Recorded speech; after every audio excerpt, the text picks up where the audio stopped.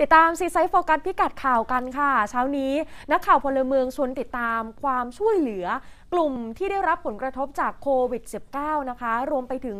ห่วงใยกลุ่มแรงงานจากประเทศเพื่อนบ้านด้วยที่ทำงานก่อสร้าง ในพื้นที่กรุงเทพมหานคร แล้วก็ปริมณฑลนะคะ จากคำสั่งปิดแคมป์ก่อสร้างค่ะ คุณวิภาพร 30 วันหลังจากนี้ ใครจะช่วยต่อลมหายใจให้กับพี่น้องแรงงานล่ะคะ ค่ะ จริง ๆ บริษัทเอกชนเจ้าของโครงการต่างๆ หรือว่า subcontract นี้ต้องเข้าไปรับผิดชอบนะคะก็มีภาพของความพยายามในการช่วยเหลือจากเอกชน แต่บางจุดไม่พอ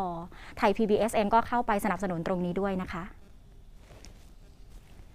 สวัสดีค่ะคุณผู้ชมคะพบกับ C-Site Focus พิกัดข่าวและฟักแฟงวิภาพรวัฒนาวิทย์นะคะ ดูเรื่องของการปิดแคมป์คนงานก่อสร้างกันหน่อยค่ะคุณผู้ชม จริง ๆ ประกาศของท่านนายกรัฐมนตรีเนี่ยมีผลปิดแคมป์ล็อกดาวน์บางจุด เมื่อวานนี้เป็นต้นไปใช่ไหมคะ แต่ว่าจริงๆ ถ้าเราย้อนไปก่อนหน้านี้ก็มีประกาศของเจ้าพนักงานควบคุมโรคติดต่อในแต่ละจังหวัดเหมือนกันโดยเฉพาะกรุงเทพมหานคร ที่สั่งปิดแคมป์แรงงานบางจุดที่พบการติดเชื้อ นั่นแปลว่าก่อนที่ท่านนายกจะออกมาแถลงออกมาประกาศในราชกิจจานุเบกษาล่าสุดจนมีผลเมื่อวานเนี่ยบางจุดเขาปิดไปล่วงหน้าแล้ว และเดี๋ยวต้องปิดกันยาวๆอีก 30 วันนะคะ ทีนี้เมื่อวาน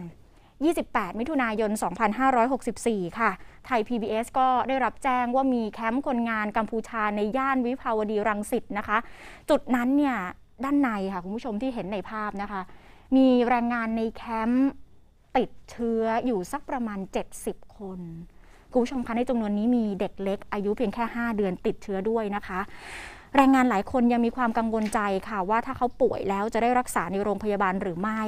เพราะว่าตอนนี้ยังไม่มีหน่วยงานด้านสาธารณสุขเข้าไปดูแลในพื้นที่เรียกว่าอยู่กันเคว้งคว้างหน่อยนะคะ เบื้องต้นค่ะ ทางบริษัทก็มีความพยายามในการจัดการนะคะ แยกพื้นที่สำหรับคนที่ติดเชื้อ แล้วก็คนที่ไม่ติดเชื้อ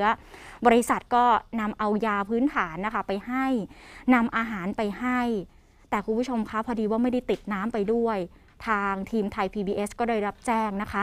มูลนิธิไทย PBS ค่ะ ส่งต่อความช่วยเหลืออย่างเร่งด่วนไปที่นั่นนะคะ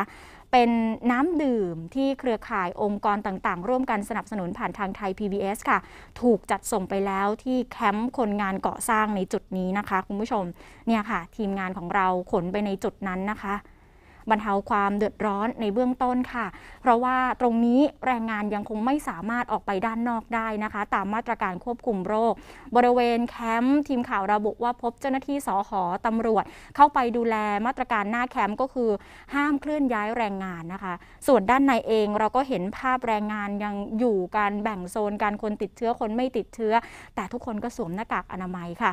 อย่างไรก็ตามทีมงานก็ได้รับคำกล่าวขอบคุณจากทางแรงงานกลุ่มนี้ด้วยนะคะ เป็นชาวกัมพูชา เขาขอบคุณคุณผู้ชมทุกท่านที่ช่วยเหลือนะคะ เป็นภาษากัมพูชาเขาต้องพูดกันว่าออกกุญเจริญ แต่ว่าขอบคุณมาก ๆ ค่ะ นี่เป็นภาพหนึ่งสำหรับการช่วยเหลือในสถานการณ์วิกฤตแบบนี้นะคะคุณผู้ชมนอกเหนือ